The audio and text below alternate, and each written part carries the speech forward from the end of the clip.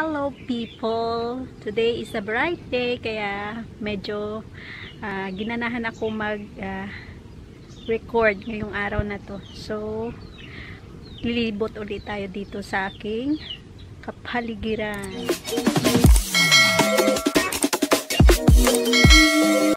Kesa naman hihiga lang ako doon sa may duyan sa uh, papag namin lumabas ako kasi parang nanghihina lang yung katawan ko pag higa lang ako ng higa dahil wala naman akong ginagawa.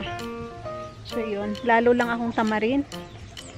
So namumunga pa rin ang ating ampatula hanggang ngayon. Yan. Meron pa rin silang bunga. Marami pa. Pero mga ano pa lang maliliit pa lang.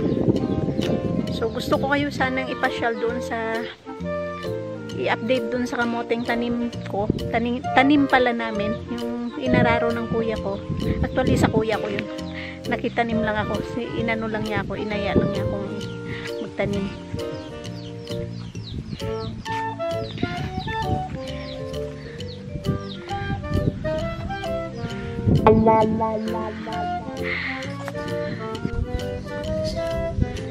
So, kahapon, nagpaani yung kuya ko. Kaya yung asawa ko, may parte. Pero hindi siya naggapas. So, ayan.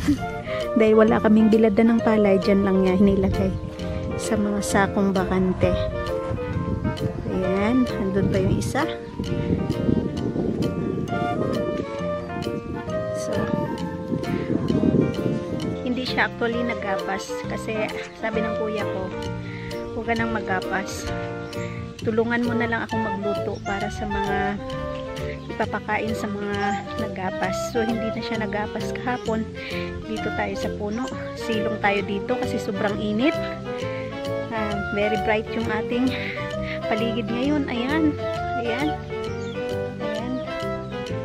So, yun ang ating mga manok. Pinakawala ng asawa ko.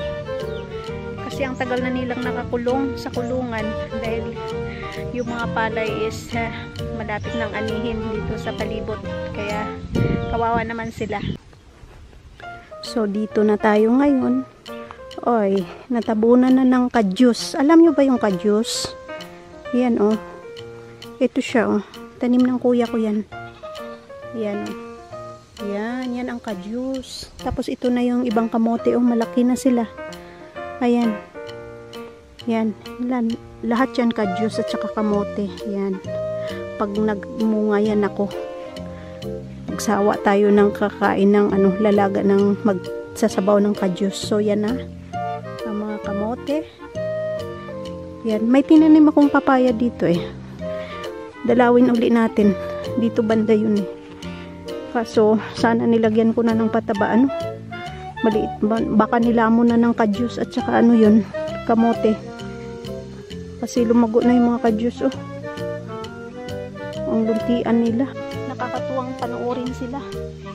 Ay sus maliit pa yung papaya ko guys. Ayan oh hindi lumaki. Kasi maliit naman talaga yan. Hindi siya ano ba hindi siya malagong ka anong hindi siya yung malaki na ano malaking buto. Ay buto. Ayan yung iba medyo malaki na rin. Ayan ito tsaka ito Ragoy, may mga ano, ang daming langgam lumikit sa balat ko. So, ayan. Ayan.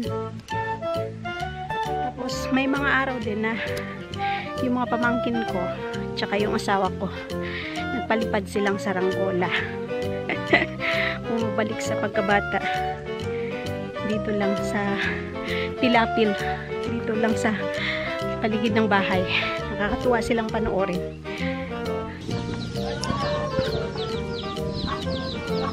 Makikita nyo kaya ito. Kita nyo?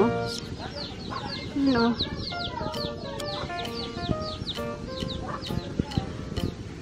Ewan ko kung makikita nyo kasi parang ang labo.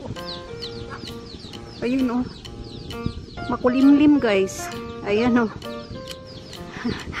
Ginawa ng asawa ko yan. Plastic makulimlim yung kalangitan minsan mag-clear siya tsaka magkakaroon ng maraming yun ma cloudy ayan ayan sila. oh. Yan.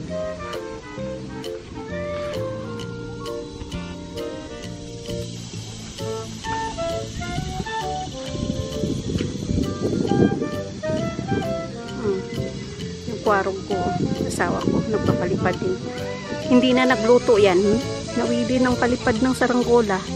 Tanghalian na maya-maya. Sumabit ang saranggola nila.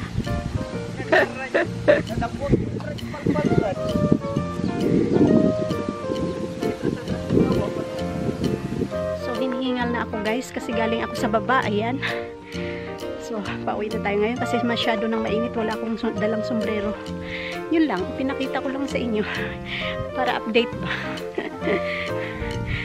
Ay, kasi tinatamad ako mag-film ngayong mga past few weeks na ito. Kaya wala akong mai-upload. Sabi ko, sa asawa ko mag-vlog ako. Ayun, nagigib ng tubig yung asawa ko. Ako naman nag-film. Ah, Dahan lang. Iko-close ko na tong vlog ko na to. See you in my next one. Please don't forget to like and subscribe to my channel. God bless us all. Bye!